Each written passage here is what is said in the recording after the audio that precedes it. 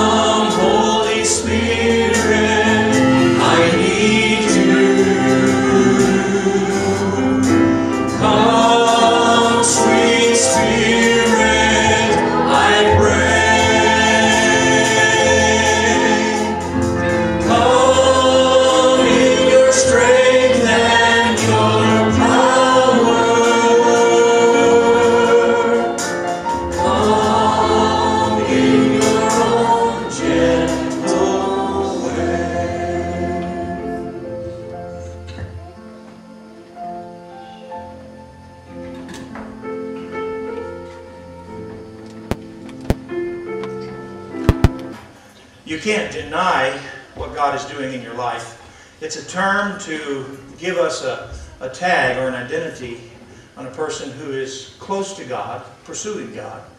And we refer, sometimes we, from our backgrounds, we, we get a little gun shy when, when uh, we, we refer to anyone or want to be referred to as a spiritual person. But you know, um, it is something that we need to consider because there are certain things that define you as close to God or not. And those are the marks of a spiritual person. And uh, I'm, uh, I'm reminded, if we can go ahead and put that first screen up there, Wayne, I'm reminded of, of uh, how we, we mark people today.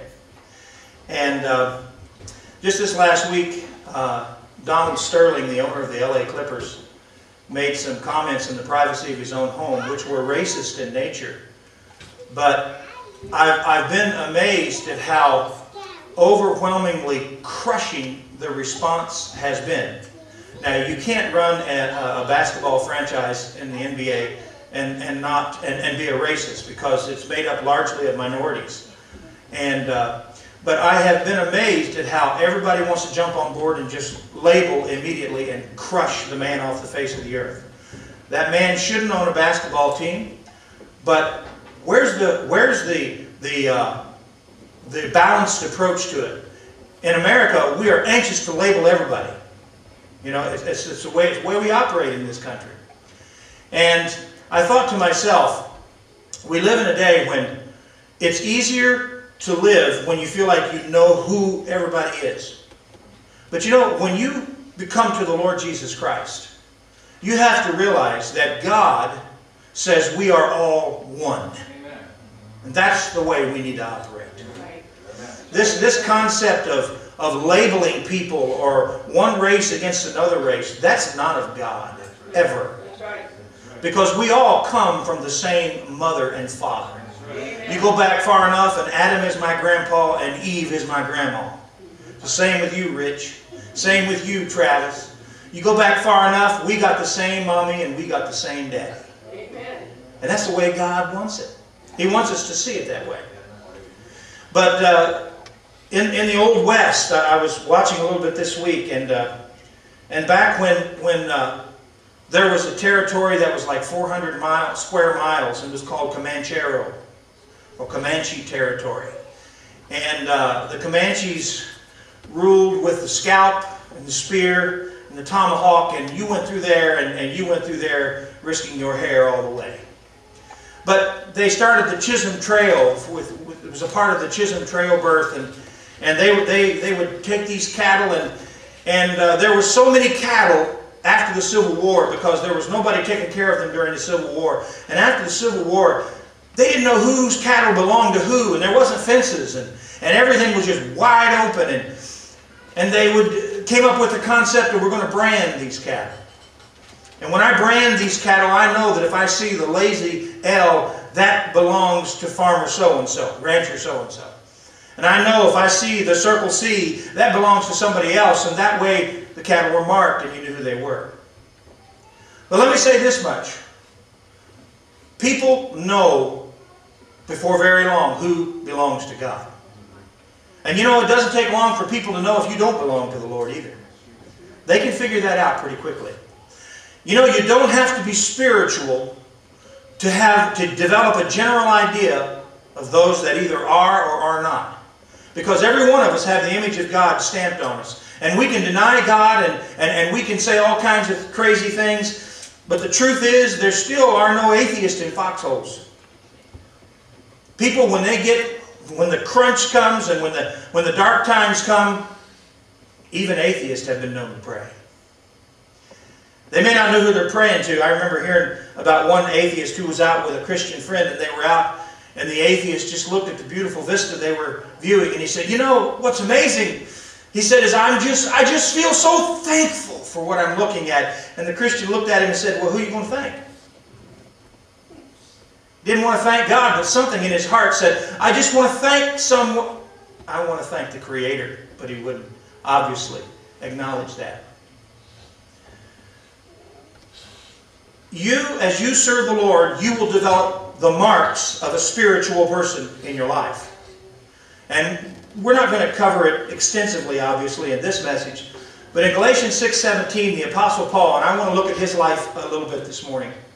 He said, From now on, let no one trouble me, for I bear in my body the marks of the Lord Jesus. Uh, he didn't say, he could have said, I've got a scar here, and and I, have got a whiplash here, and, and I, I've got contusions here. He said, These are the marks of the Lord Jesus. You know, when I think of Jacob and how he uh, started his life and, and uh, he deceived his father and he took his brother's birthright and he went to his uncle Laban and he lived there for many years trying to buy wives and building wealth.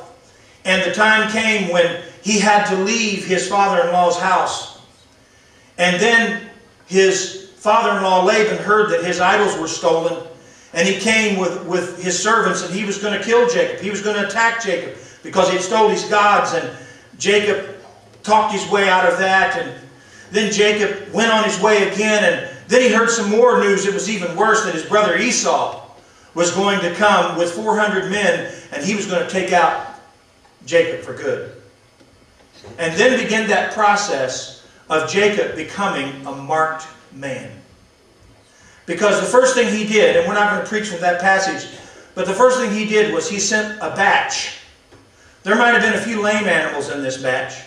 There might have been a servant or two that was a bit of a troublemaker. And he said, I'm going to send him them on ahead as a gift to my brother Esau. But then he thought about it again and he said, you know, that might not be enough. And so he sent another batch of animals and goods and servants, and he sent them on ahead. And then he began to send family members. But he saved those precious things for last. And finally, he had to send his loving son and his wife Rachel, and he had to send them on with the last bit, and he was left all by himself. Do you know that I have found in my own life that God has to get us alone, away from our treasures and the things we love the most, before we will allow Him to mark us for life. That's what God... You, you know, what it is, is the things we have in this world, they have a tendency to distract us from becoming all that God has intended for us to be. And you know, it, it's so much fun to just protect ourselves and, and to gather things around ourselves so that we can say, this is my mark. But God has a way of removing those things sometimes and clearing the path until there's nothing between us and the angel of the Lord as it was with Jacob. And then God can wrestle with us. Jacob didn't, didn't have anything else left but himself. Just Jacob. You know, it's amazing what we'll give up to protect ourselves sometimes. Even as Christians. Oh, Lord, I don't mind giving this up as long as you don't ask for that. But the Lord says, just keep sending the treasures ahead. Because you and I have a WWF match. GWF, God Wrestling Federation. That's we'll call it that. but you know what? There's a lot of people that They don't learn their lesson until they're all alone. Jacob was that way. Jacob was a man who was so conniving and so good at getting it his way and so good at, at deceiving and supplanting and doing all those things that God said, You know, I'm going to have to get you to the point where you've got nothing before you will listen to me and you will learn what I'm really trying to teach you, son. Now, did God not love Jacob? No. God actually loved him so much that he was, everything Jacob gave up was an act of God's mercy. Because God had a plan to mark Jacob and change his nature and give him a place in history. God's history. Let me just, let me just, before we get into this message and look at the Apostle Paul and some of the marks that he had, let me ask you this question. What would happen if you would really let God mark you for life? I'm talking not just a commitment to this church or go to work and say, I'm a Christian now. But I mean, if you would let God have you, everything about you, what could God do with you? You know, I believe God has a plan. God has a plan for everybody in this building. And I believe in my heart that most Christians never fulfill in America all that God has for them because they surround themselves with things that keep God from getting their attention long enough to mark them for life. But when someone does, there's a transformation that takes place. There's a usability that becomes visible and becomes possible that was never dreamed of before. When I talk about sanctification, Here's one of the ways I describe it. When we get saved, we give God all of our trash. Here's my lust, and here's my theft, and here's my foul language, and here's all my bad habits, and here's all the nastiness in my life. And you know what God does? He takes it and He says, Thank you, my child. Give me your trash. You know of anybody else that would take our trash? I don't know of anybody else. But God does. Can I hear a praise the Lord? Praise the Lord. God takes every bit of my trash and he cast it into the sea of his forgetfulness to be remembered against me no more. Hallelujah.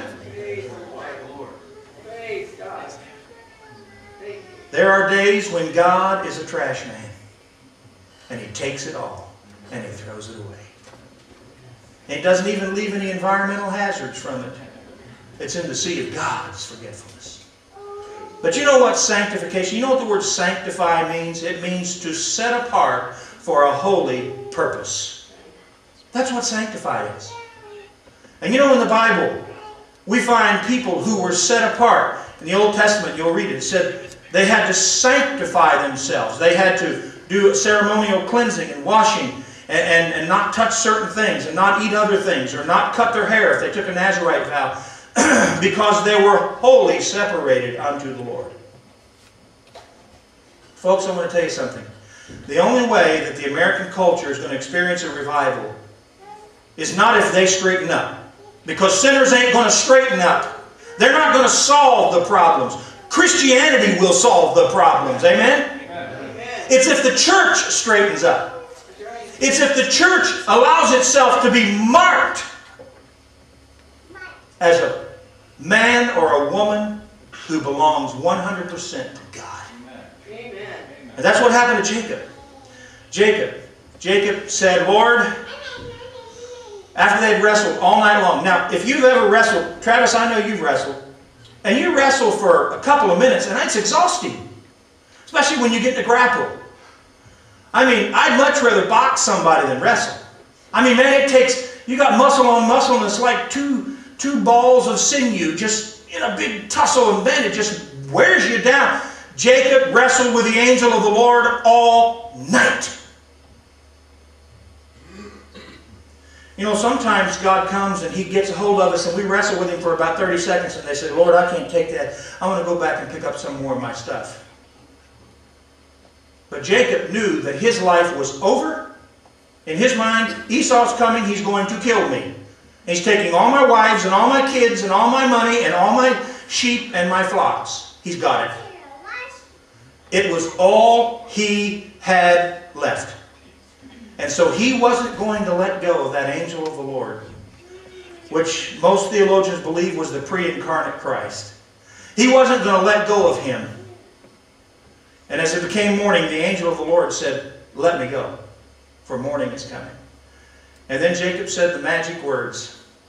He said, I won't let you go unless you bless me. You know, God wants to get us in a place that He can make us so desperate for His blessing. And when we become more desperate for God's blessing than we do for all the stuff here in the world, and our family, and our cars, and our money, and our junk, when we get more desperate for God than we do for that stuff, we will be marked. That's right. That's when we receive the marks of a spiritual person. And the Lord, first thing He did was He said, What is your nature? Because He asked him, What is your name? And in the Old Testament, your name meant something. I mean, you know, we name people everything today. We name them after soap commercials. We name them after Star Wars characters. But you know, in the Old Testament, when you received a name, it had to do with your character. And you know what the name Jacob means? It means deceiver, supplanter, heel grabber. Because when he and Esau were born, Esau was coming out first, and out came the next hand and grabbed Esau's heel. It was highly symbolic of what was going to happen. And you know, my friends, we need to understand that when God begins to deal with our nature, He's not dealing with our trash anymore. He wants our treasures. He wants those things that He can take and refine and purify. What I've discovered in my life is the things in myself that I hold in my hand, they putrefy. If I hang on to it and don't give it to God, I'll spoil it with my selfishness. And it'll come around to bite me.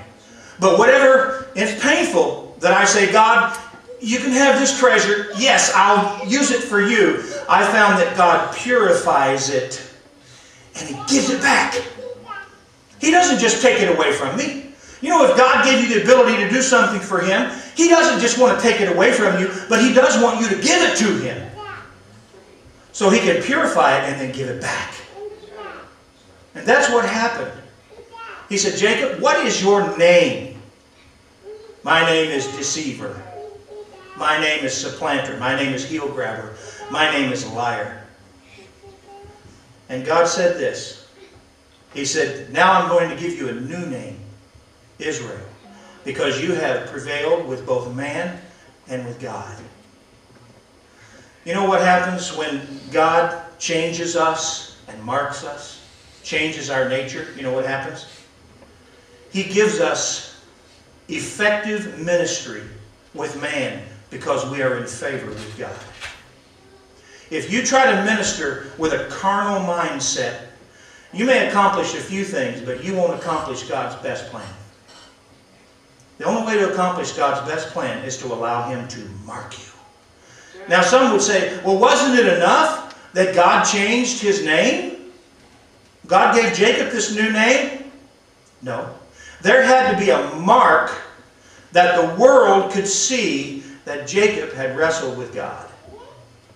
And you know, there are things that happen in our lives when we give everything to God that those around us can see very clearly. He touched the hollow of Jacob's thigh. And that's where your strength is, and your thighs, especially when you're wrestling. And he went lame. It shrank. And he didn't have the strength in that muscle. And then the angel of the Lord went away from him. And from that day on, Jacob walked with a limp.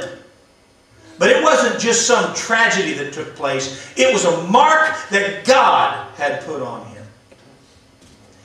And you know what, my friends? God wants to mark every one of us. When the world sees you, how do they know you? Do they know you as God's man, as God's woman? Or do they know you as someone who has a church affiliation? Or someone who just says, I'm a Christian?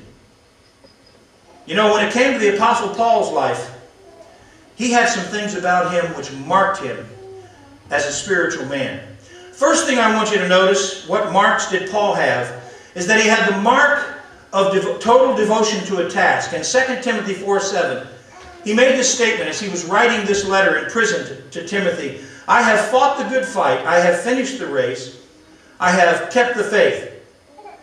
You know, one of the things that, that helps us when, when we understand we have this mark of total devotion to a task. You know, the reason the church is suffering all across the world today is because there are too many Christians that are not totally devoted to what God has called them to do in the church. We're suffering because of that. You know, it's so easy just to play around the edges and take what the church gives me and makes me feel better. But when it costs me something, then all of a sudden, God, I'm backing up on you. I'm backing up on you. You know, that's why there are Christian workers today who are burning out. Because there are other Christian workers who are not doing what God has called them to do. Because they're not totally marked and committed to God. Amen. This is what we need to understand. Paul had this mark of total devotion. First of all, he had a devotion to counting the cost because he said, I have fought the good fight. You know, we have to realize that we're not on a playground, we're on a battleground when we serve God.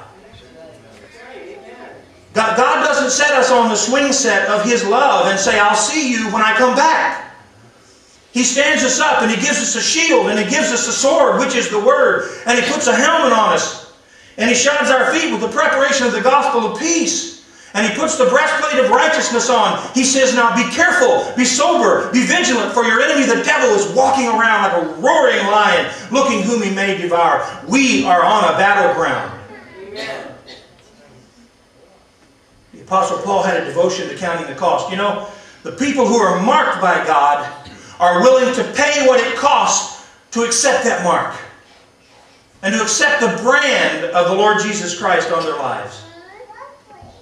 We have a lot of people today that have a devotion to something else other than counting the cost for God. They count the cost for themselves too often, but they don't count the cost for what it takes to serve the Lord. But he also had a devotion to continue his calling because he said, I have finished the race. You know, he was referring to a specific race. Whenever the Olympians go in for those races, they don't all run every race. They have a specific race. You have the long distance runners. You have the sprinters. You have the different lengths of races. And, and each one says, This is my race. This is what I'm good at. This is what I must train for. And I want to finish my race.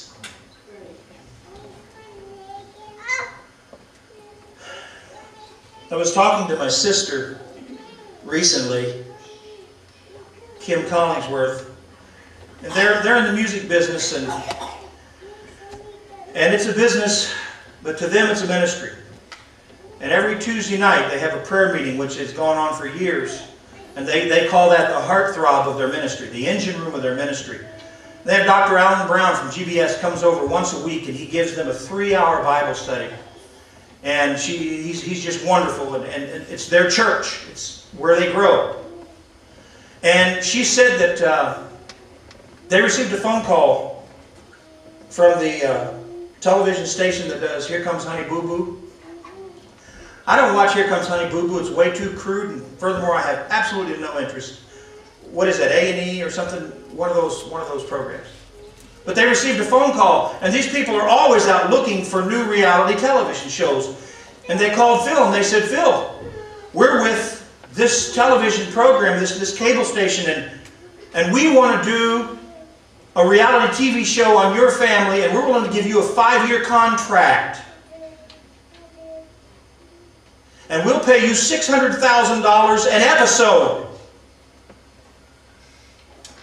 Talking about the end of your money problems. Kendrick, I've never seen that look on your face before, but that was amazing. I didn't know Kendrick could be that emotional.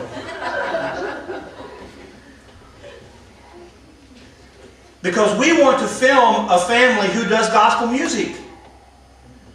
And Kim said Phil came to her and she said, Our mouths just hit the floor. Five years. You start adding up. It's just mind boggling.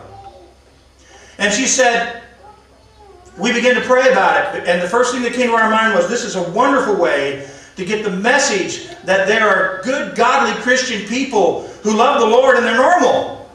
Because television portrays Christian people as psychotic and crazy and immoral. But she said the more we prayed about it, She said, The Lord began to make it real to us. This is not your calling. I want you to finish the race that I have called you to run. And I want you to finish it well. Have I not met all your needs? Yes, Lord, you've met all of our needs. Am I not blessing you right now? Yes, Lord. I haven't given you this much money, but I have met all of your needs. You don't need to worry about money because I'm in charge of your finances. Do you want to put a cable television channel in charge of your finances? And she said, the more we thought about it, she said, we finally picked up the phone and with confidence called them back and said, thank you so much. We would love to have this opportunity. But she said, we told them this on the phone to the executives in Hollywood. The Lord has said we need to stay focused upon our ministry and not get sidetracked by other things. And they turned it down. They had a devotion to continue their calling. The Apostle Paul had a devotion. He said, I have finished the race. When Kim and Phil come to the end of that ministry, it's not going to be, did we make all the money from the cable deal? It's going to be, did we finish the race that God put us in? And did we finish well? Hallelujah. He not only had a devotion to his calling, he had a devotion to cling to Christ because he said, I have kept the faith. The faith in what? The faith in the Lord Jesus Christ. The faith in the one who died for me, who rose again, who gives me every strength I have today. I have kept the faith in him. The Apostle Paul said in different places that he was anxious to give up everything for the excellency of the knowledge of the Lord Jesus Christ, and he had done that. Paul had the mark of total devotion to a task. He also had the mark of humility because in Philippians 3 7, he said, But what things were gained to me, these I have counted lost for Christ. Folks, if you're giving up things for the church, it's not a good deal. If you're giving up things because your family wants you to, it's not a good deal. But if you're giving up things for Christ, it's the best deal you can make. And he was willing to lay aside everything he possessed in his previous life represented pride. Pride of possessions. He had all that Israel could offer when it came to possessions. Pride of position. He said, I was the Pharisee of a Pharisee. Pride of education. He had been, he was a Hebrew of the Hebrews. He had been trained in the best Hebrew colleges. But all of that represented in his life was pride. And he said, I am letting it all go so that I can take the one who said, I am meek and lowly. Come and taste of me. He accepted humility. Do we have the mark of humility? When we are marked by the Lord Jesus Christ, humility becomes more and more prominent in our lives. Thirdly, he had the mark of suffering. In Romans 8, 16 and 17, he writes, The Spirit himself bears witness with our spirit that we are the children of God. And if children, then we are heirs. We're heirs of God and joint heirs with Christ. If indeed we what? Suffer with him, that we may also be glorified together. We, we need to understand that when you really identify with Jesus Christ, you are in direct opposition to the spirit of the world. And you know, the spirit of the world many times is in the church too. And when you stand up and say, I'm going to get serious about God, there's Christians who will tell you to simmer down. You say,